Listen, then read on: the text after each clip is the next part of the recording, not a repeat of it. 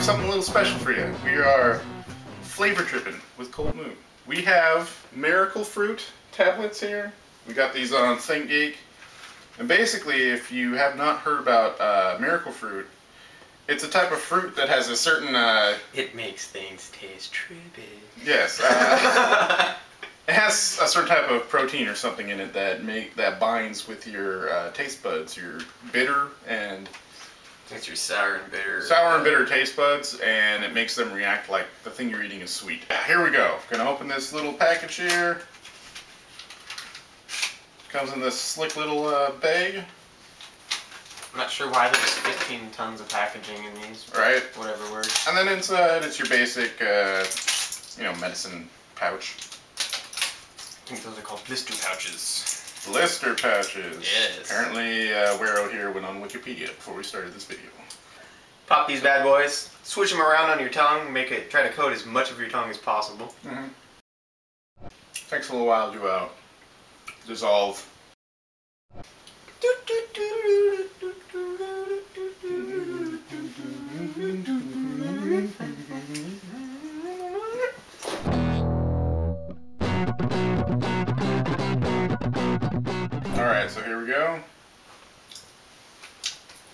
Sure it's all gone. Still smells like Guinness. So yeah, still smells the same. Doesn't affect your smell.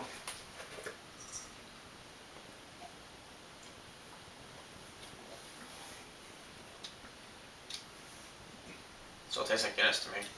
Really? It it it definitely tastes different. Um, Just tastes more like coffee. yeah,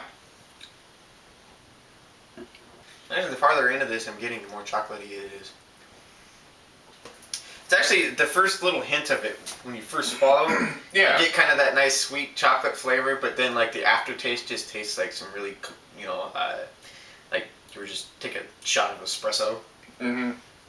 It almost makes it taste like it's uh, more like a barley wine. You know how you get really sweet flavor. Mm-hmm. Part one, Guinness, sweeter. More coffee esque, but it's still Guinness. Yeah. All right, so now we got some citrus fruit. All right, first up, let's try lime. Let's see here. I like limes anyways, but Yeah.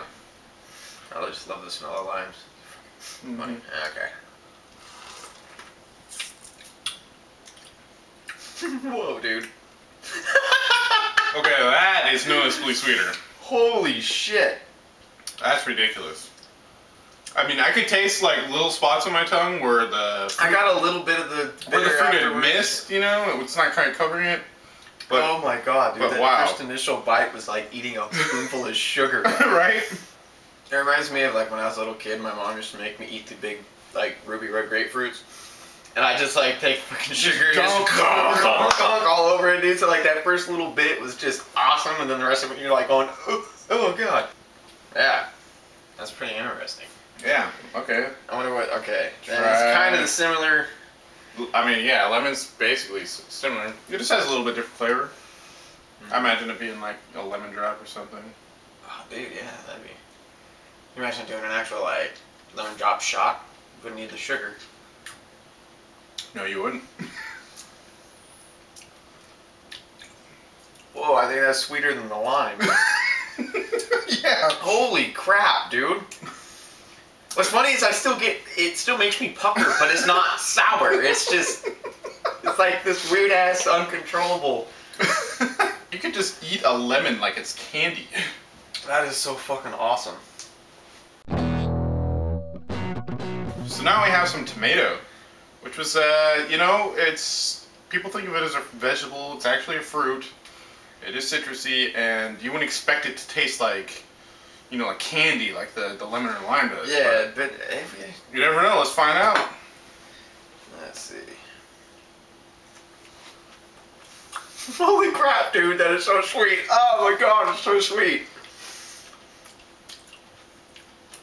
It is. That is so weird expecting a tomato flavor and it's like almost like brown sugar. right? wow, this is bizarre. That's what that one is. Like, apparently, this thing makes other s- sour fruits taste ridiculous. Yeah. It doesn't really affect uh, the beers much, but this stuff. That is fucking insane, dude. If you have like an incredible sweet tooth, but you know they're gonna like cut off your leg because you're diabetic, Yes. eat some of those things. like I'm not sure how much sugar and shit's actually in them because it doesn't really. Zero percent. Okay, so there's pretty negligible amount of sugar, I'm assuming.